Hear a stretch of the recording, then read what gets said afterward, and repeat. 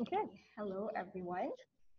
So the guidelines of this session are please stay muted and turn your video off.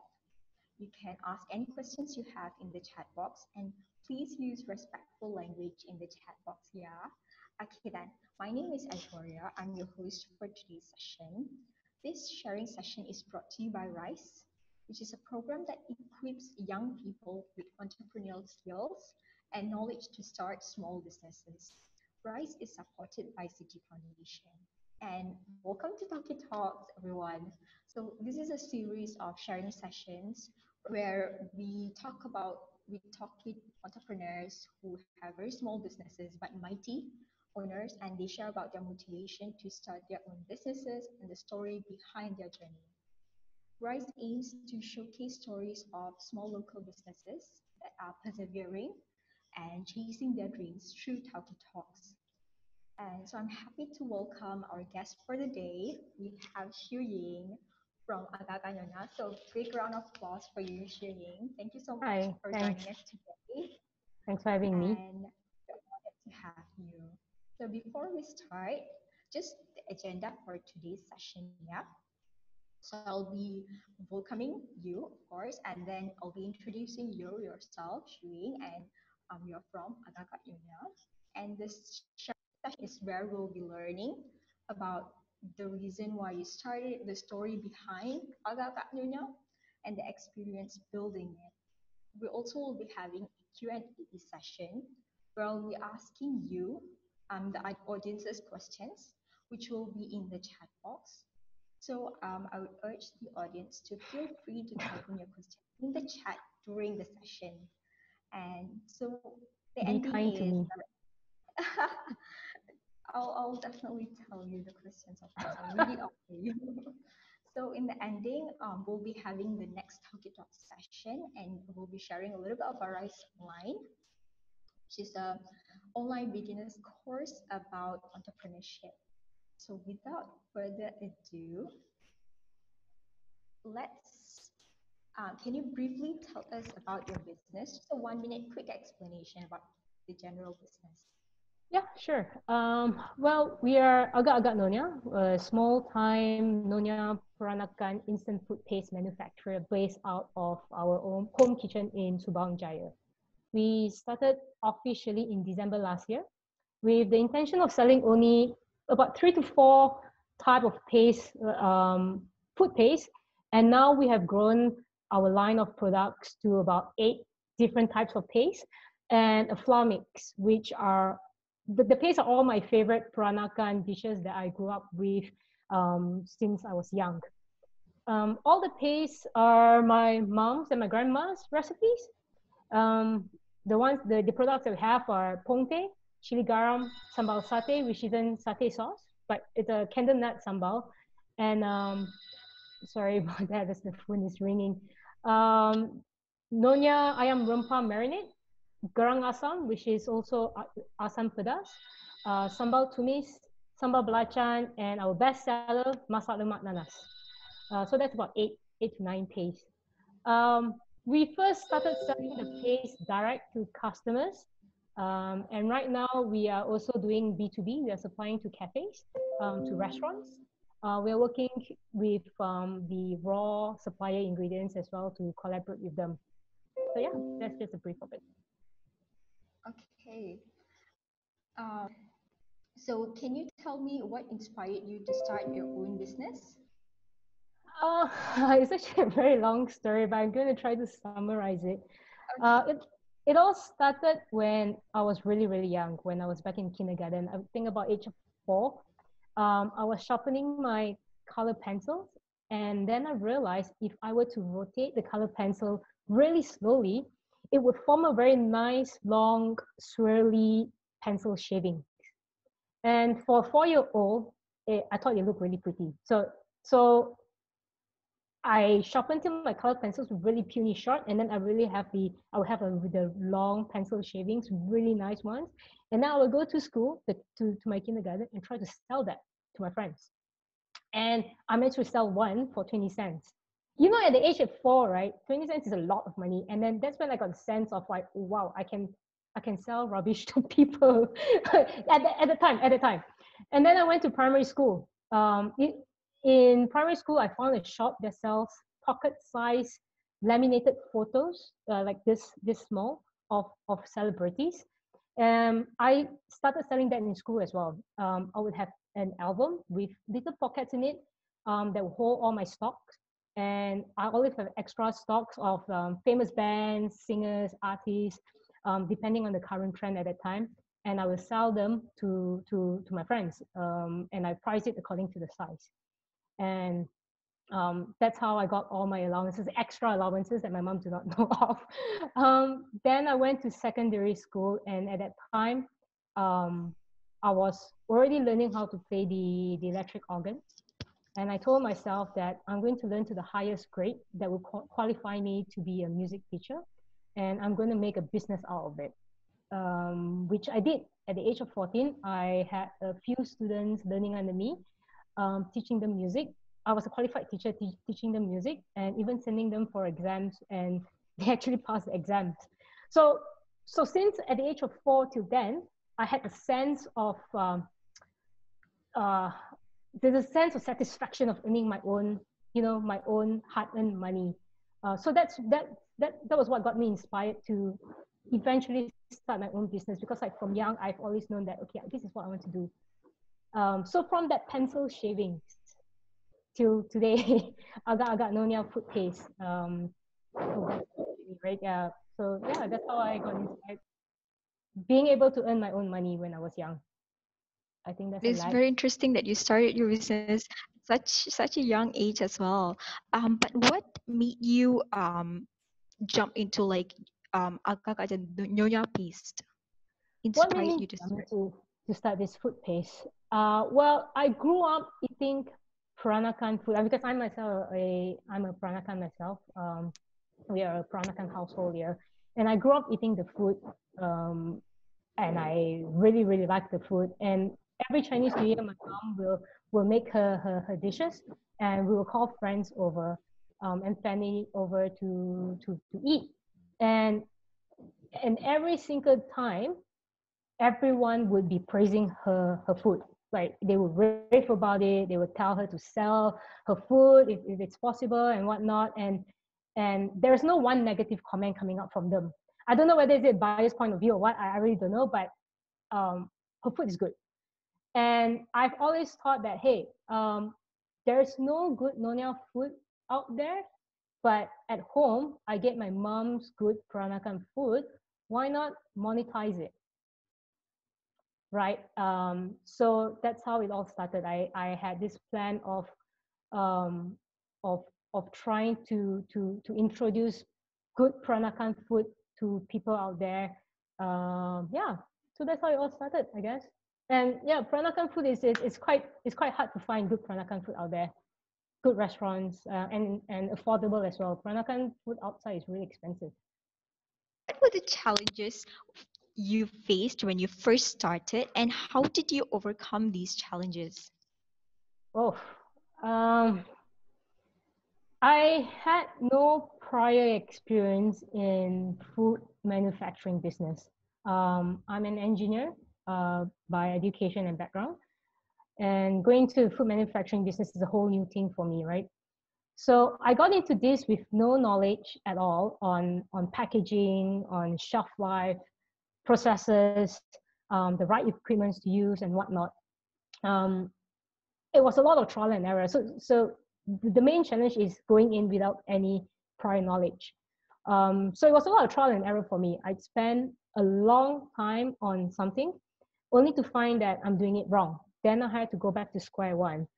But I learned a lot along the way. So it, it was a matter of figuring out as I go and really just not giving up.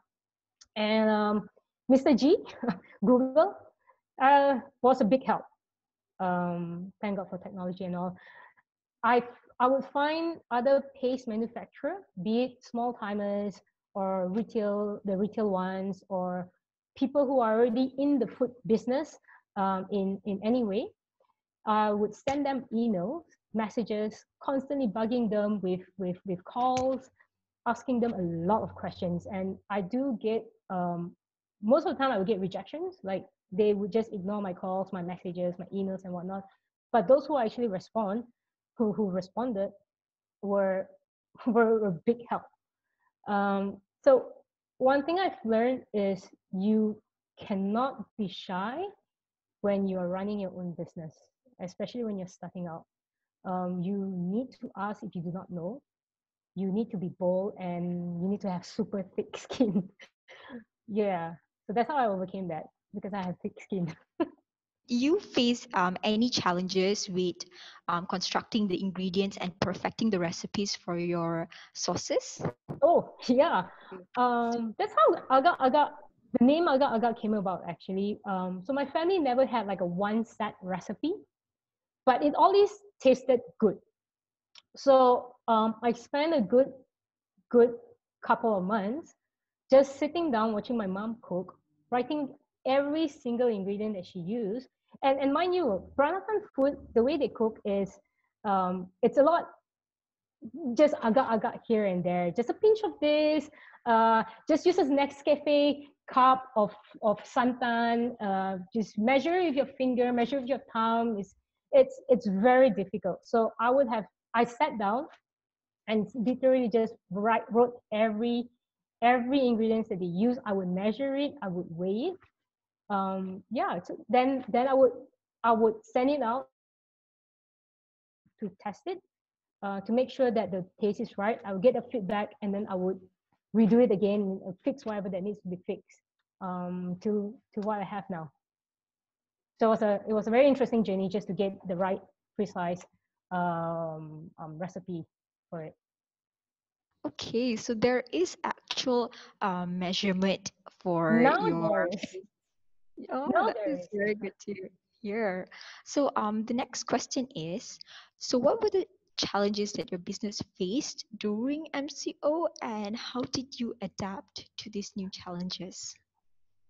um, I had a lot of issues getting the the raw ingredients because of the travel restrictions they had. Right, they we weren't allowed to to to driving here and there, um, and I couldn't go to the market and things like that. So I had to find suppliers um, and different ways to source ingredients online, or I would call them, or um, sometimes um, if if my mom is out with permission, with a permit, then I would get her to get um, the ingredients for me.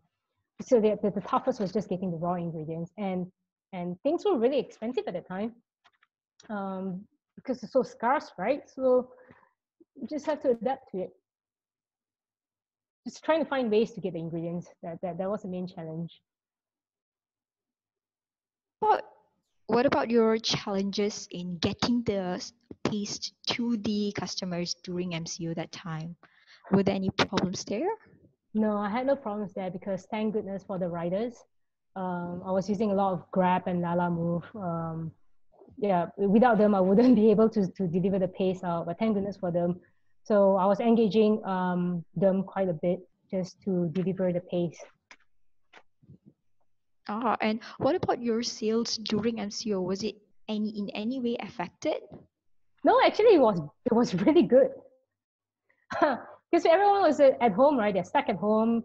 Uh, they have nowhere else to go um, other than I mean, there's nothing else to do other than cook. So a lot of them were cooking, so they were uh, sales were really good during MCO. For I think for food business, it was it, it was really good. That is quite interesting to hear because a lot of businesses were affected during that time. Yeah. So, um, yeah. what did you manage to learn about business ever since starting since the beginning? Uh, well, one thing that I've learned is you need to you need to be bold.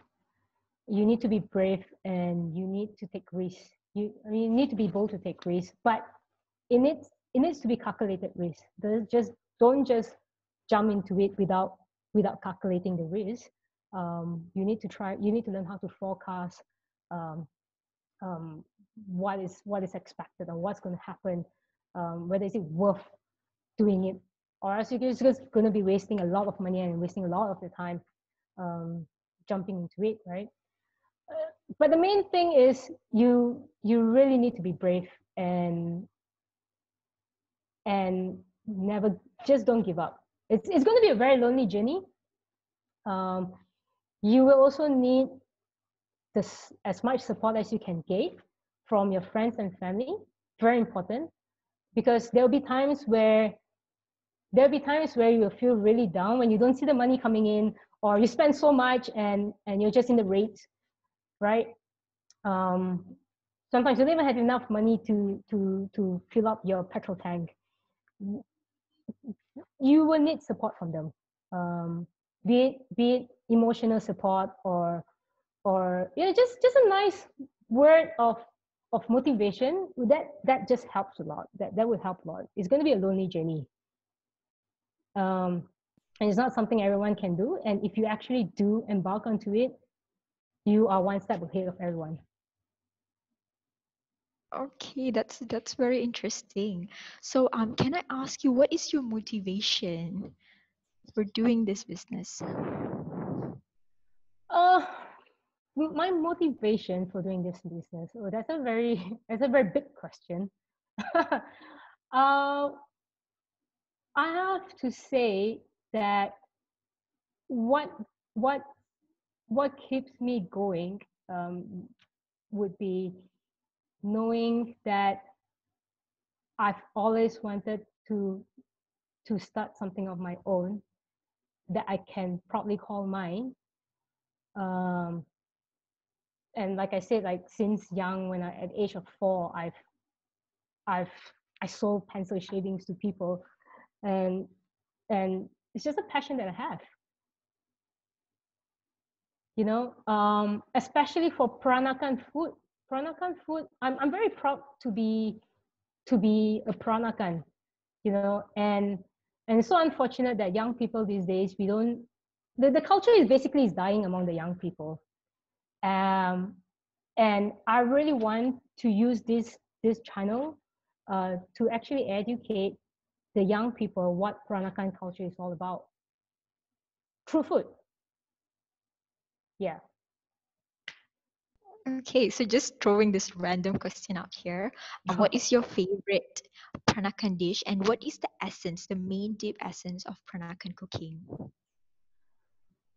My favorite Peranakan dish would be um, the would be the chili garam. Uh, so chili garam is is this it's is this paste? It's it's like sambal, but you don't have. It's it's just very savory. Um, at the same time, there's a nice hint of spiciness to it, so it's not too spicy. It's just it's just right, and you can usually cook it with you usually cook it with seafood, um, but you'd be surprised you can actually do a lot of things with chili garam. And my mom has always been cooking that um, ever since I was young, and I grew up with it. So that's that's like my the favorite one. Uh, what what was the other the, the follow up question, sorry? What is the essence of Peranakan dish for you personally? Um, the essence of it would be complexity.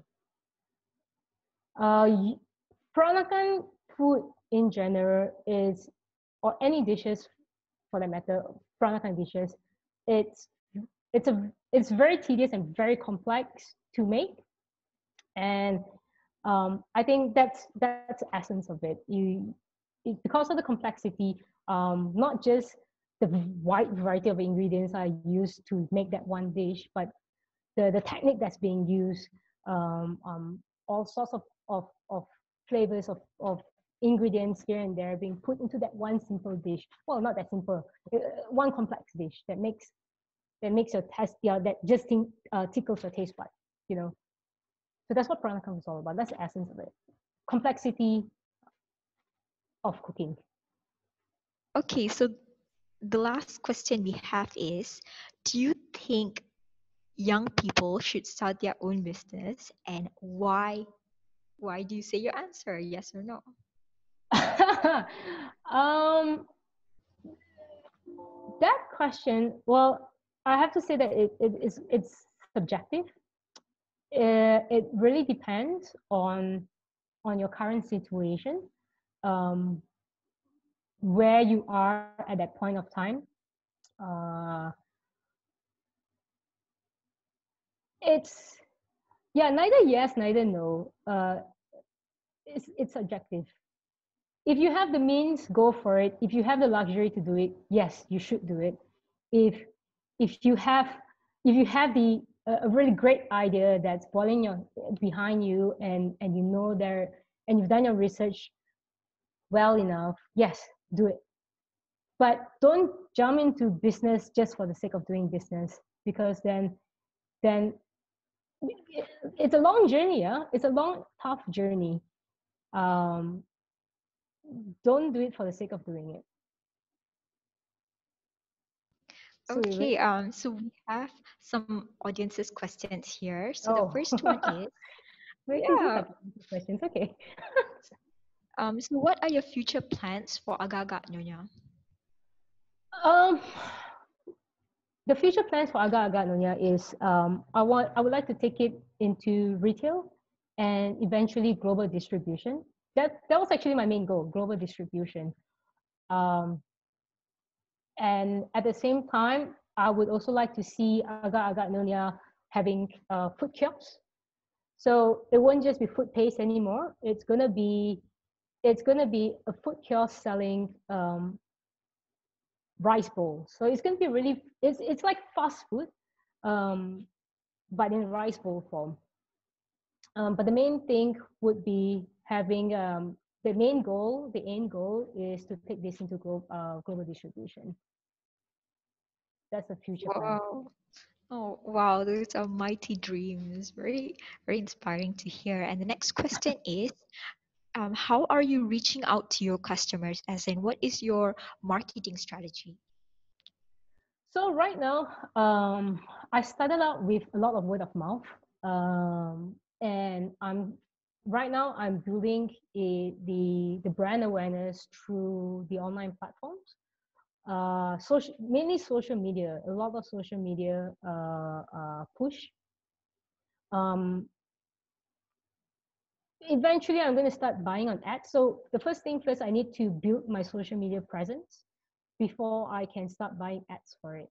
So that, that's that's like it, it's a step step by step thing. Uh, but right now, right now, it's mainly on social media. Okay, okay. Um, so another question we have is, what is the Peranakan food industry like in Malaysia? Are there a lot of competitions? Well, um, are we talking about retails or or more of like a home-based pacemaker? Um, our Peranakan paste in terms of both home-based and retails? there are so in on in the retail side um, on the retail side there are not that many Peranakan food base and even if there are um, there are very few choices that that you can get. Um, and home based not that many as well. So I, I was doing my research before I decided to to do this this business um, just to research the, the, the, the what's the market competition like and things like that and you'd be surprised that, I, that there are not that many people doing Peranakan food paste. Per- Peranakan food paste. Food paste, yes. You get a lot of sambals and things like that, uh, but not traditional Peranakan food. But they are slowly emerging. So um, there are one or there are two or three, a few, but not many. I I, I could count like with with with, with my ten fingers. They're not that many at all. Um, in, in your opinion, why do you think uh, there is not a lot, there's a very limited selection of Peranakan paste as you mentioned just now?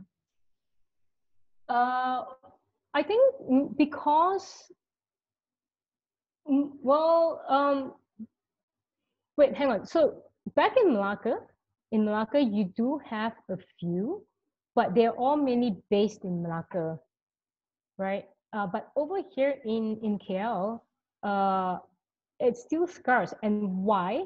That's a good question. Um, I think it's because people in general are not very um, familiar with what Peranakan food is all about. So, so that's why um, it's not there yet. So my job is to, or what I want to do is to educate people what Peranakan food is all about. Yeah. Okay, okay. That's a good Um, question. Uh, I'll I'll inform that to the person who asked that in the chat box. So final question that we have here is, um, what are the two top skills or mindsets that an entrepreneur needs to run a successful business? Mindset um well you need to have a mindset of not being afraid to fail. Um you are bound to fail but there's so many possibilities of failing right? But if you do fail you need to see the silver lining to that um, there's always there's always a lesson to learn from it. And seriously every time you fail you will learn. It's it's a hard way to learn but you will learn. And you pick yourself back up and continue on. Um, and don't give up. You need to have the mindset of not being not giving up.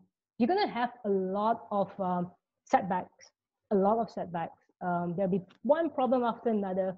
But that's that's that's what makes the journey very interesting and very fun to to to be on. Um, you're gonna hear a lot of uh, a lot of noises. Yeah te- people telling you that you can't do this or you can't do that. Um, um, or or at times where where you just for that particular month you don't you don't have enough money to to to to pull it through but just believe in yourself.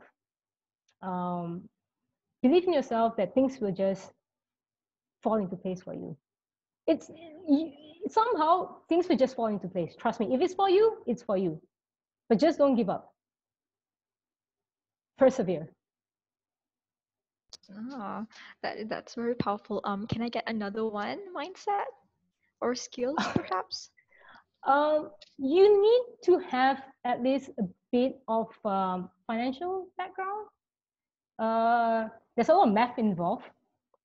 Um, so you, I, I don't, I wouldn't say that you need to be very well versed at it, but you need to know how to be able to do your forecasting.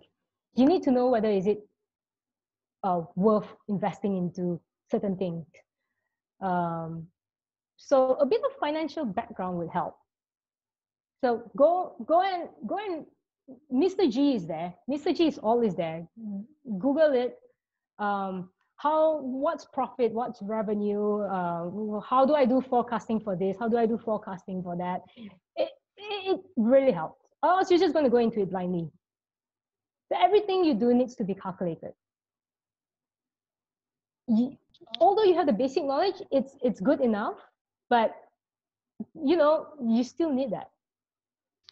Okay, thank you so much, Ying, for your very amazing insights. It was very inspiring as well as very powerful to hear you speak.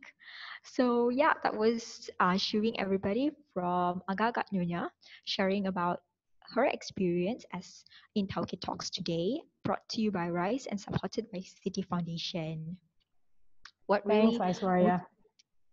Oh, thank you so much. It was great having you here. So, we also um, at RYSE, if your goal is to start a small business or learn more about business, um, RYSE is a, organizing a free online course, RYSE Online, as you can see, a free beginner's course about business building.